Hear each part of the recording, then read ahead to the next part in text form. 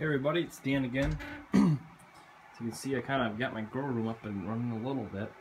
Uh, it's pretty much a mess though. Get crap everywhere. The worm factory down there, that's new since last year. Got the hydroponics set up. Just sitting there dead right now. So, hopefully sometime this winter I'll get that going, but uh, I just want to bring it down here because I'm kind of tree collards in here. Been talking about those last few weeks. We got lots of green growth. They look really good. All doing really well. Rosemary, I always keep that. It's like three years old or something like that. Just keep it in here and just grows every year. Never is a problem. Here's my lemon tree, but I'm having some issues with this. So you can see I brought it in and it lost all its leaves. Uh, so I had some shock, but as you can see here, I got some little tips.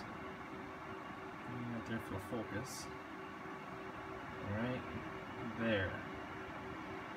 Just looking for some advice maybe to figure out how to best help this plant. Um, did get some sit some uh, some of this in it, a little bit of that. Just I know I haven't fertilized it ever, um, but I don't have this problem. I think it was shocked from temperature going from outside to inside.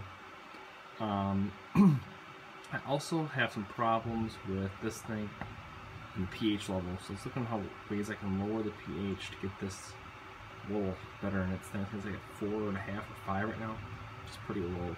So any advice would be helpful? Thank you very much. Talk to you later.